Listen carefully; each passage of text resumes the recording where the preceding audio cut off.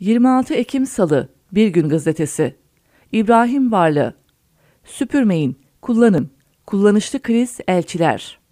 Makarayı başa saralım. Bundan 15 yıl önce neokonlara yakın American Enterprise Institute adlı düşünce kuruluşunda konuşan dönemin dış ilişkilerinden sorumlu AKP Genel Başkan Yardımcısı Şaban Dişli ve Başbakan Recep Tayyip Erdoğan'ın danışmanı Cüneyt Zapsu, Türk hükümetine güvensizlik bildiren Amerikalılara ABD'ye ihtiyacımız var. Siz de AKP ile yaşamak zorundasınız. Alternatifimiz yok. Devirmeye çalışmaktansa delikten aşağı süpürmek yerine onu kullanın mesajını verdiler. 8 Nisan 2006 tarihli Milliyet gazetesindeki Amerika Birleşik Devletleri'nde Hamas kavgası başlıklı haber, AKP-ABD arasındaki sansasyonel ilişkiyi çarpıcı bir şekilde özetliyor. Amerikan emperyalizminin desteğini almaya çalışan AKP ki bu desteği on yıllarca sonuna kadar alacaktı, siyasal İslamcı kökenden gelen Erdoğan'ı tartma niyetindeydi.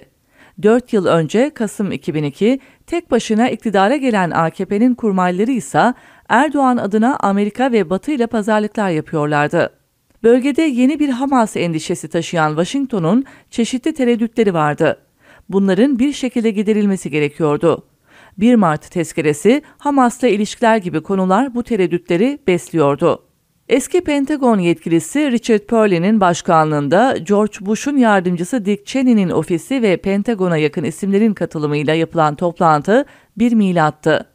AKP hükümetine bakışın olumsuz bir çizgiye kaymaya başlaması üzerine Washington'da nabız yoklamak ve parti politikalarını anlatmak için çıkarma yapan AKP'li yetkililer Bush yönetimine yakın isimlerin sert eleştirilerine muhatap kalırlar.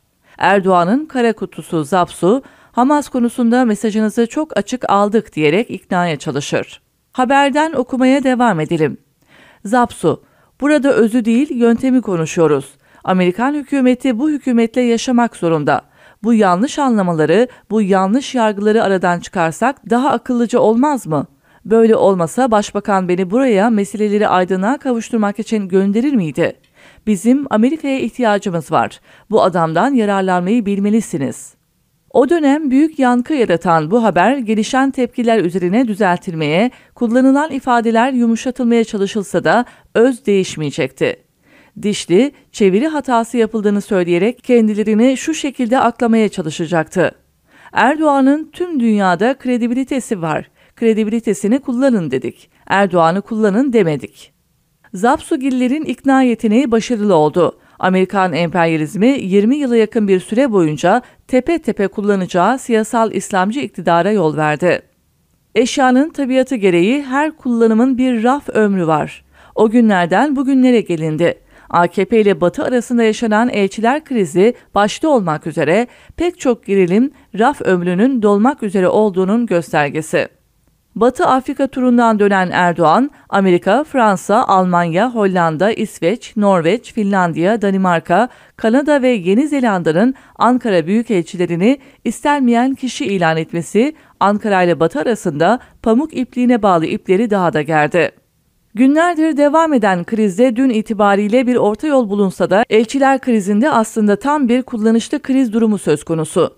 İçeride dışarıda tel tel dökülen siyasal İslamcı rejimin üzerinde rahatlıkla tepineceği, kitlesini konsolide edeceği bir mevzu oldu. Erdoğan yönetiminin istediği de tam da buydu. Bu tarz meseleler AKP iktidarının karşıtlarını çekmeye çalıştığı minder. Erdoğan yönetimi ne zaman sıkışsa bir şekilde yardımına koşuyor Batı dünyası. Çoğu zaman bu destek kullanımın doğal bir sonucu olan gönüllü destek oluyor. Kimi zaman da son büyükelçiler krizinde olduğu gibi oryantalist bakış açısının yol açtığı bir yol kazası şeklinde de olabiliyor. Batılı rejimlerin Türkiye gibi ülkelerin iç işlerine karışması yeni değil. Düne kadar kredinin musluğunu sonuna kadar açtıkları AKP yönelik çeşitli dönemlerde benzer uyarılar yapıldı. Ancak o dönemde koparılmayan fırtına şimdi koparılmaya başlandı. Meselenin birçok boyutu olsa da mesele şu ki Erdoğan ve rejimi artık Batı dünyası için vazgeçilmez değil.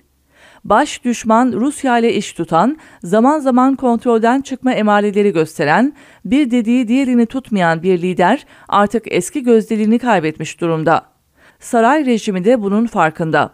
Günün sonunda saray rejimi krizi fırsata çevirmeye çalıştı. Gözler 30 Ekim'de yapılacak Roma'daki G20 zirvesine çevrilmişken sarayın bu imal edilmiş kriz üzerinden yükselen dalgalar üzerinden yaptığı sörfün ömrü bir sonraki dalgaya kadar.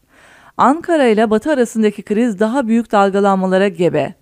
Makarayı başa çevirecek olursak, Zapsu o tarihi toplantıda ne demişti?